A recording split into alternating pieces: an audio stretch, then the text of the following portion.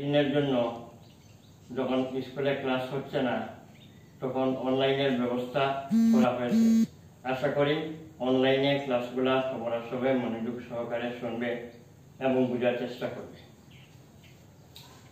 আজকের কোশ্চেনটা হলো, তিন নম্বর কোশ্চেন অনুশীলনী ফাইভ পয়েন্ট থ্রি সমান্তর প্রগতিতে দেওয়া আছে a equal to five d equal to three a n equal to fifty n এবং এস এন নির্ণয় করো সে দেখো a equal to five d equal to three a n equal to 50 তাহলে আমরা বাই করতাম n equal to what আর s n equal to what দেখো, n বাই করতে গেলে a plus n minus 1 d equal to a এই জায়গায় জায়গায় মান বসাই এর মান হইল 5 প্লাস এন এর মান জানি না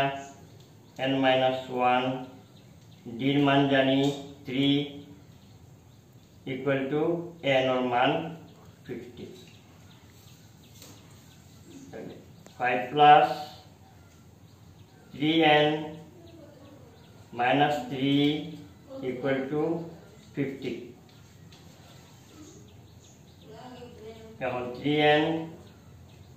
5 minus 3 equal to plus 2 equal to 50. 3n equal to 50 minus 2. 3n equal to 48. তাহলে n equal to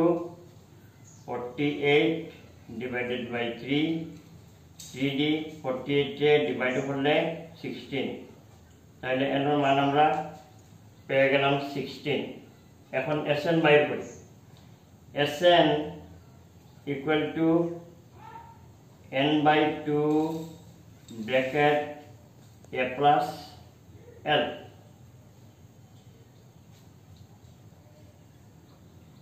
n equal to আমরা পেয়েছি সিক্সটিন তাহলে সিক্সটিন ডিভাইডেড বাই টু এর জায়গায় পেয়েছি দেওয়া আছে ফাইভ এল মানে এন দেওয়া আছে ফিফটি টু দিয়া সিক্সটিন দিয়ে ডিভাইড করলে আমরা পাই এইট তাহলে eight into five plus fifty equal to fifty five তাহলে এইট দিয়া এইট দিয়ে ফিফটি ফাইভ দিয়ে পূরণ করলে আমরা পাই পাঁচশোটা চল্লিশ শূন্য, হাতে সাইড চল্লিশের সাইডে চল্লিশ। তাহলে এসেন সমষ্টিটা পেলাম ফোর হান্ড্রেড ফোরটি